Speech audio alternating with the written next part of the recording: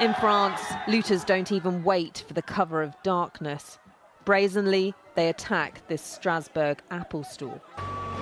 The depth of the crisis facing France has become alarmingly clear. Torched cars litter the streets of Nanterre, the suburb where teenager Nahel was shot dead by police. The violence following his death has continued to escalate.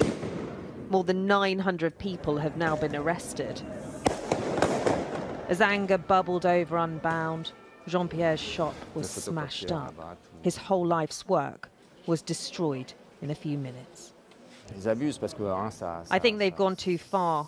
That won't move things forward. It's a bit of senseless violence, he tells me.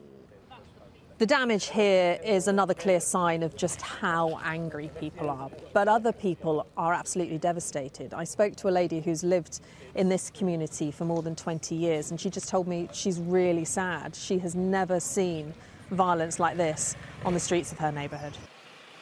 As some search for answers, others turn to blame.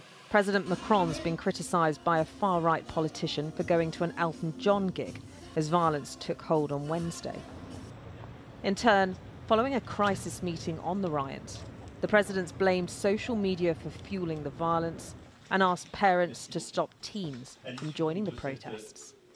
It's the parents' responsibility to keep them at home, and so it's important for the calm of everyone that parental responsibility is fully exercised.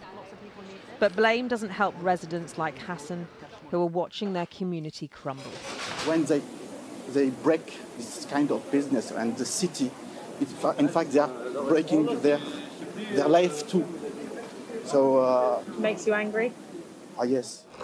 Nahel's shooting ignited the anger, but this MP tells me, despite government denials, it's racism that's fueled it for decades. There's racism among certain police officers that's been going on for years. So you're 20 times more likely to be stopped by police in France if you're North African or a black African. That's the reality.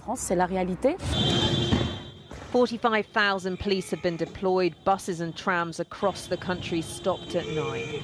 As the government tried to regain control, France is bracing for more violence. Siobhan Robbins, Sky News, Nanterre.